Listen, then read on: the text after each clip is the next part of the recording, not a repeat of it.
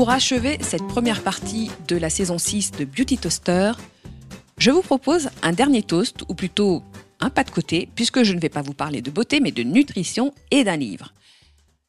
L'autre jour, j'ai entendu un chiffre ahurissant. Selon une étude de l'OMS, dans 7 ans, 88% des décès précoces seront dus à des maladies chroniques, parmi lesquelles le diabète de type 2, le surpoids et certains cancers. Souvent, on se dit que ces chiffres sont surtout valables pour les US, mais force est de constater que toutes les tendances américaines, et pas les meilleures, ont toujours fini par se répandre dans le monde entier, comme c'est le cas pour la malbouffe par exemple. La vérité, c'est que ces maladies chroniques sont des maladies de pays riches, où la surabondance de nourriture transformée, trop sucrée, trop grasse, trop salée, et trop pauvre en nutriments, nous rend malades. Il y a plusieurs mois, j'ai découvert le compte Instagram de Glucose Goddess.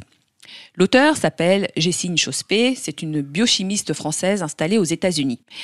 Elle vulgarise toutes sortes d'études scientifiques et surtout des études sur l'alimentation, ce qui lui a donné l'idée de créer ce compte Instagram dédié à ses découvertes. L'alimentation est un sujet qui m'a toujours intéressée, ayant longtemps été une toute petite mangeuse et plutôt une enfant difficile, comme on disait dans les années 70. Et vous ne me croirez peut-être pas, mais j'ai intégré le principe de la diversification alimentaire quand je suis partie étudier en Angleterre et j'avais déjà 20 ans. Donc l'été dernier, j'ai commencé à m'intéresser à ce compte que je trouvais super bien fait, avec des petits schémas et des explications hyper claires. Pas de diabolisation, pas d'injonction, juste des graphiques pour nous expliquer comment vivre en meilleure santé. Et puis j'ai fait une rencontre. Un soir d'hiver, je traversais la rue avec ma fille et on a croisé un monsieur d'un certain âge, mais pas très vieux quand même, hein. il devait avoir au plus 70 ans. Il marchait avec beaucoup de difficultés, chaque pas était un effort surhumain, il était très essoufflé et en plus il portait deux gros sacs de course. Intérieurement, je me suis demandé où il allait comme ça, surtout qu'il faisait nuit. Transmission de pensée, Ma fille s'exclame. Mais on pourrait peut-être l'aider. Et là, elle revient sur ses pas et lui propose de porter ses sacs. Ni une ni deux, je suis le mouvement. Et donc ce monsieur me dit, je rentre de chez le kiné.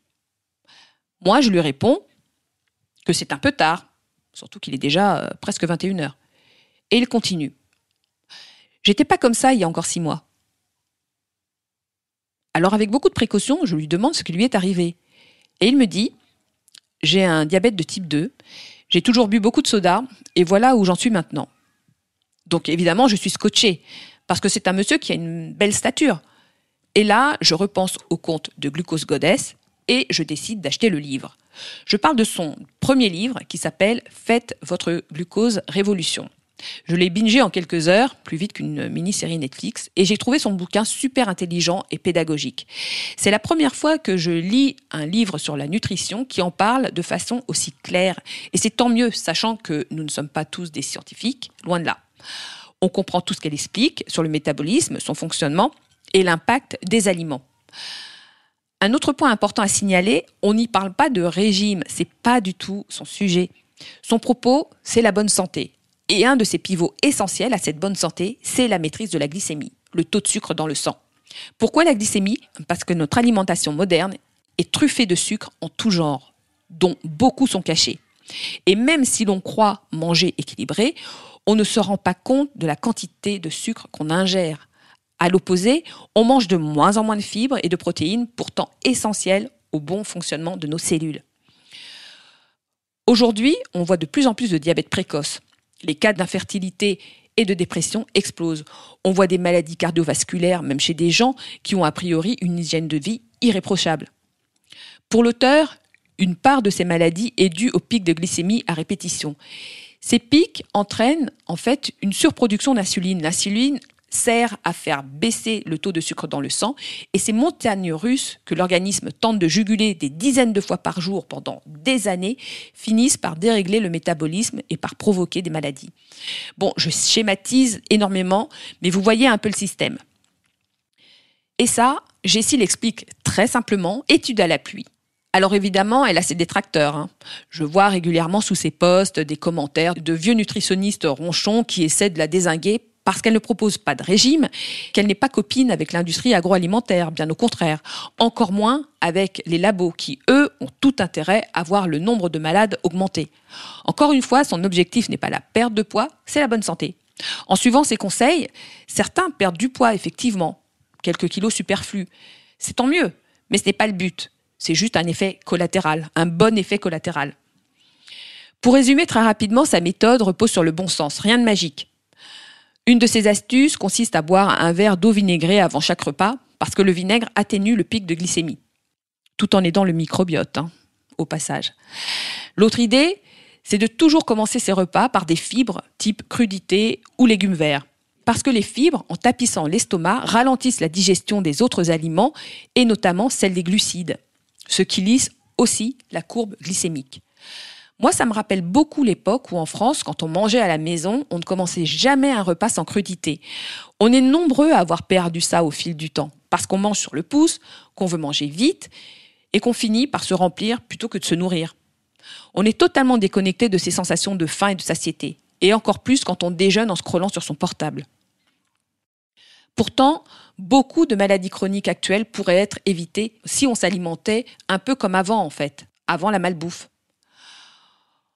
En suivant les conseils de Jessie, on réintroduit les fibres dans son alimentation, on est mieux rassasié et l'envie de prendre un goûter ou un encas sucré à certaines heures diminue, voire disparaît. Les prises alimentaires se régulent d'elles-mêmes, sans effort, et les effets sont perceptibles en quelques jours. Perso, depuis plusieurs mois que j'ai commencé, je vois vraiment la différence. J'ai l'impression d'être moins gonflé le soir, comme si le drainage lymphatique se faisait mieux. Quand j'ai un petit creux, je ne vais pas systématiquement euh, vers un, un truc sucré. Et ça, c'est sans aucun effort, je ne ressens aucune privation, j'ai juste pas envie. Et c'est la première fois que ça m'arrive depuis des décennies. Je dors aussi super bien, je me réveille nickel. D'ailleurs, ça m'a donné envie de reprendre le contrôle sur mon horaire de coucher, qui commençait à dépasser allègrement minuit. Je gère également beaucoup mieux mon stress. Et en plus, j'ai l'impression d'avoir euh, la peau moins sèche et le teint plus lumineux. Je ne saurais pas expliquer euh, comment. Euh, peut-être que c'est lié à mon microbiote intestinal qui est en, en meilleur état grâce aux fibres. J'ai vraiment l'impression de gagner des mois de vie en bonne santé. Parce que bon, je n'ai aucune envie de vivre jusqu'à 90 ans si c'est pour être diminué par la maladie, surtout quand je repense à ce monsieur dont je vous parlais au début. Encore une fois, il n'y a rien de magique dans la méthode de Jessie Inchospé. Ces conseils sont hyper simples à utiliser au quotidien, sans vous obliger à supprimer des aliments, à compter les calories, à éviter les, les associations de certains aliments. Tous ces trucs qui finalement ne reposent que sur du vent et qui sont inutiles, voire pour certains dangereux. Ce qu'elle dit sur le sucre et ses dangers m'a rappelé un nutritionniste que j'avais rencontré à mes tout débuts de journaliste. Je travaillais alors pour un magazine qui s'appelait Jeune et Jolie, qui s'adressait à de très jeunes filles et dont certaines d'entre vous ont d'ailleurs peut-être été lectrices. Je trouvais irresponsable de vouloir imiter les magazines féminins adultes qui conseillaient tous de faire des régimes avant l'été. Donc, j'avais contourné l'angle qui m'avait été imposé et j'étais allée à la rencontre de nutritionnistes parisiens pour leur demander plutôt des conseils sur comment bien se nourrir et surtout pas dans l'objectif de perdre du poids. Un d'eux m'avait particulièrement interpellé. Il m'avait dit Vous savez, le problème aujourd'hui, c'est pas le gras, c'est le sucre. On était au milieu des années 90. Inutile de vous dire qu'à l'époque, il était quasiment le seul à tenir ce genre de discours. Alors qu'encore une fois, c'était du bon sens. Conclusion bah, Je prêche à bonne parole autour de moi à propos de Faites votre glucose révolution, parce que je pense qu'on est nombreux à chercher des solutions pour vivre mieux. Et vous retrouverez les références de ce livre dans les notes de cet épisode. Peut-être profiterez-vous des vacances pour tester cette méthode. C'est même le meilleur moment pour modifier ses habitudes alimentaires, justement, parce qu'on est au calme et qu'on a tout le loisir de se reconnecter avec soi-même. Petit Toaster se met en mode rediffusion tout l'été. Reposez-vous, lisez, écoutez des podcasts, faites du sport si vous en avez envie. Bref, mettez-vous en mode pause. Bonnes vacances et on se retrouve en septembre. Salut